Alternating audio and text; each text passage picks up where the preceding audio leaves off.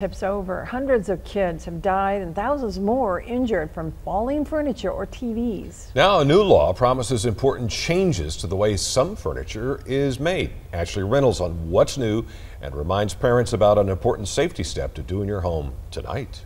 Washington, D.C. firefighter Daniel Brong and his two year old daughter Zoe were tidying up her room when the unthinkable happened. Zoe started opening up the drawers. When she had opened two of those little drawers on the top. The dresser came down right on her foot.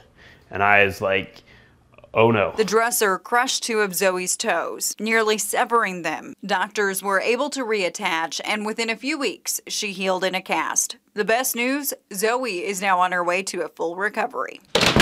The danger is not new. Over the past two decades, hundreds of young children have died or were injured from falling furniture or televisions. A majority of tip over deaths involve children under the age of six. But those grim statistics could soon be changing thanks to a new law called the Sturdy Act. It requires all dressers and similar products made or sold in the U.S., including those under 30 inches tall, to meet minimum safety standards regarding sturdiness and strength testing. The Sturdy Act was years in the making, with consumers consumer groups and parents pressing hard for its passage.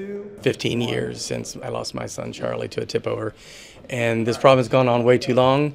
And I think we've really established a law here that's going to protect children for many, many years going forward. Consumer Reports advocated for the new law and reminds parents that even with these new protections, it's still strongly recommended that all furniture be properly anchored to the walls, no matter the height, weight, and manufacturing date of the product. To say that I'm thankful that it tipped over. I'm not, but I learned a lot from it. I've secured four other dressers in our house to make sure this doesn't happen again.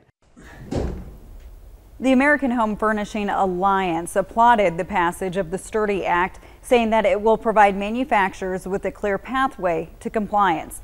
And if you're not sure how to anchor furniture, we have a video for you by Consumer Reports with a step-by-step -step guide on how to do it. Just head right now to our news app. Steve? Thanks, Ashley.